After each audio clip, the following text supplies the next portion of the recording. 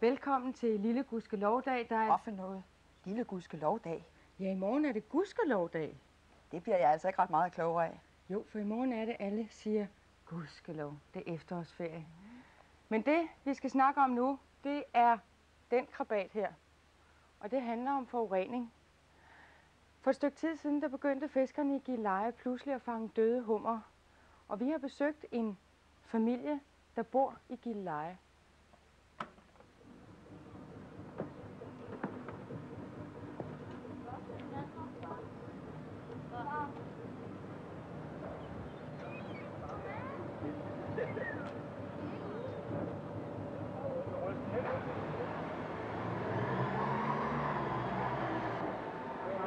Ja. Og det er mere syv Og der er 47 Ja. Så er der en 60 20.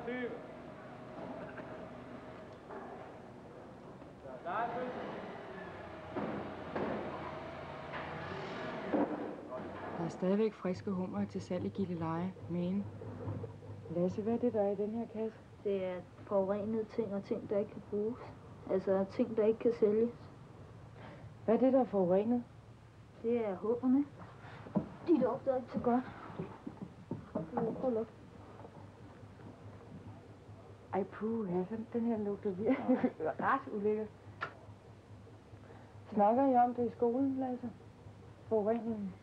Ja, altså, da det, vi lige har fået det at vide, så var jeg lidt sur på en, der hedder Henrik, fordi han far og mor er landmænd. Så gik mig og en, en kammerat, der hedder Michael, og dre, eller ikke drillet, og var også lidt sur på ham, altså sagde miljøskade og sådan noget.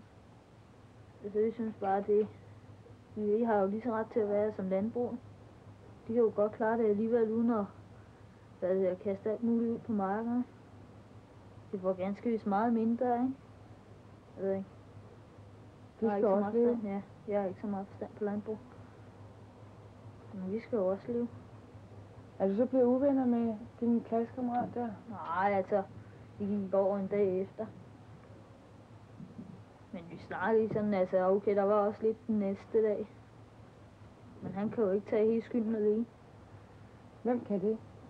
Det Er kan nogen- alle. Også fabrikkerne. Alle dem, der forurener. Hvad synes du, I to kan gøre, din kammerat, hvis forældre er landmænd, og dig, der har en far, der er fisker? Det ved jeg ikke. Vi er da bare slutte fred, så. Det ved jeg ikke. Men ja, hvem kan gøre noget så? Det kan landbruget, eller landbruget, det der, der bestemmer inden i Folketinget.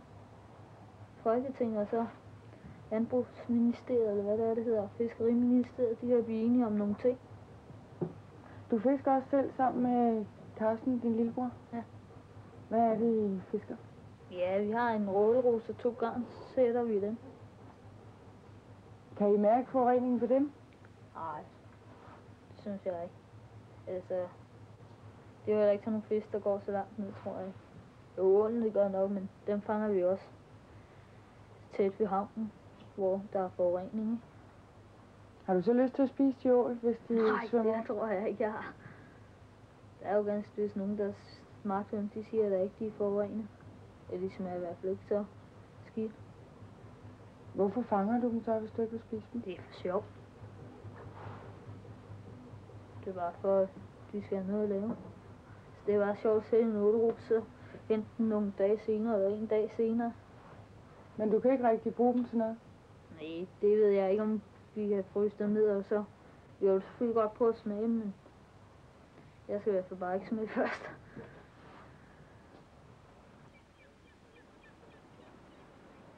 Der var en gang, da Lasse drømte om at blive fisker ligesom sin far. Lasse blev ældre, og forureningen blev værre. Nu har han droppet alle planer om at få sin egen kutter. Lasses far synes også, at livet som fisker er blevet hårdt. Hvor meget fangede du i dag? Hvor mange hummer? Vi havde øh, 59 kilo. Men det er heller ikke en dagløn til tre mand og en båd. Det skal op i nærheden af 100 kilo, bare der er lidt til os alle sammen. Var der mange døde? Ja, jeg vil tro, ud af de 50 kilo, der har nok været 10 procent eller sådan noget, der ikke kunne bruge det. 5 kilo i hvert fald af den, men der var mange, der havde mere, og alt andet fisk er jo også dødt. For vi også døde op på stedet.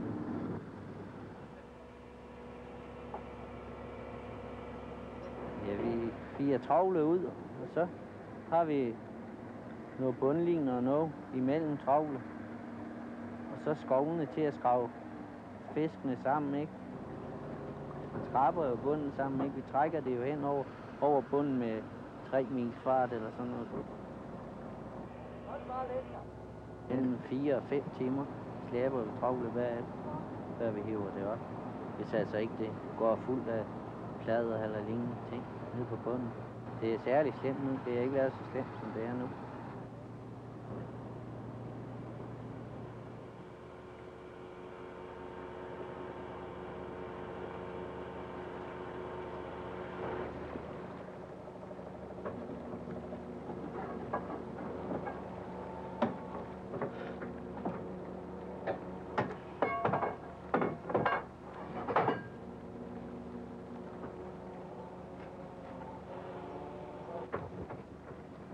Alt det, vi plejer at se herude, det er væk. Det er dødt vand, og vores bedste fiskeplads om vinteren også herude, hvor vi kunne redde dagen, hvis den havde gået skævt. Det er også, det er også bort.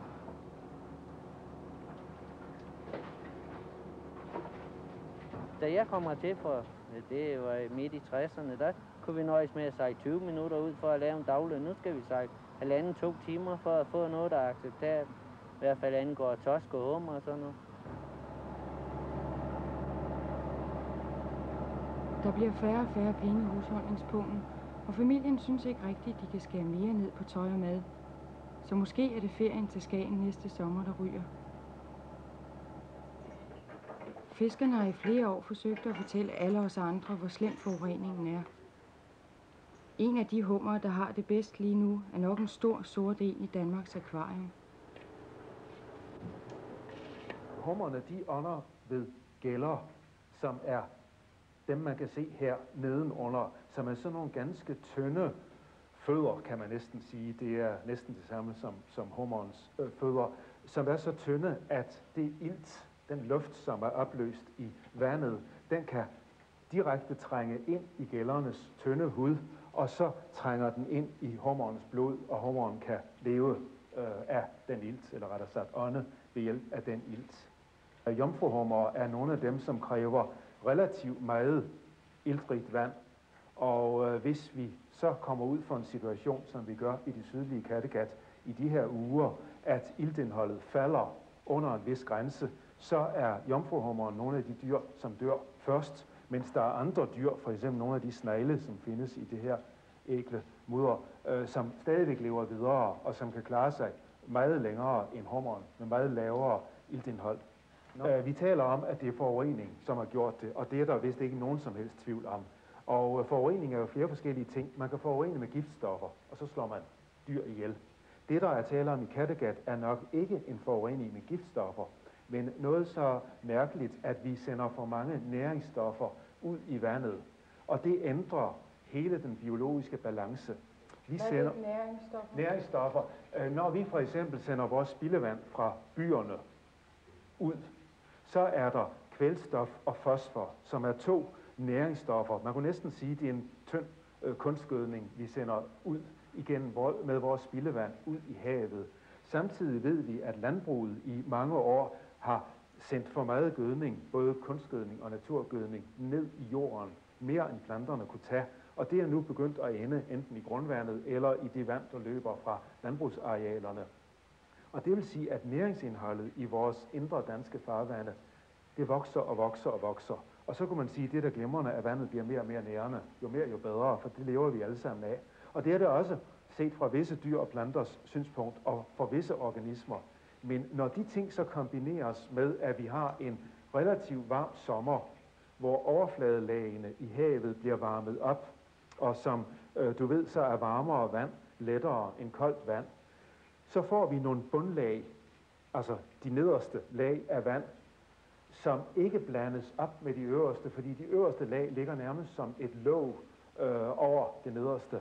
Og når der så samtidig er meget næring, så kommer der en stor produktion af små bitte dyr og planter, det man kalder plankton. Og dels tager de iltet, og dels øh, skærmer disse dyr og planter for lyset, så lyset ikke trænger så langt ned, som de skulle. Så det vil sige, at vi har fået et låg på de danske have af vand. Og nedenunder det låg forsvinder ilten så lige så stille, fordi der kommer ikke nyt ilt til. Øh, vandplanterne er døde af lysmangel, og der er ingen opblanding. Og de dyr, der så ligger dernede under låget og meget gerne skulle leve af ilten, de kvæles så. Og øh, det eneste, vi så kan håbe på, at det er, at nogen fjerner det låg. Og det kunne man sige, det kunne vi selv gøre ved at røre rundt i Kattegat. Og øh, det er selvfølgelig så stort et arbejde, det kunne man ikke drømme om, at mennesker gjorde. Men i virkeligheden bliver det forhåbentlig gjort om nogle uger eller måneder i form af efterårsstormene, som rører rundt, fordi de blæser, så at sige, vandet til den ene eller den anden ende af Kattegat, og derved laver en omrøring. Og samtidig betyder det koldere efterårsvejr forhåbentlig, at overfladelaget bliver så meget koldere, at det begynder at synke til bunds.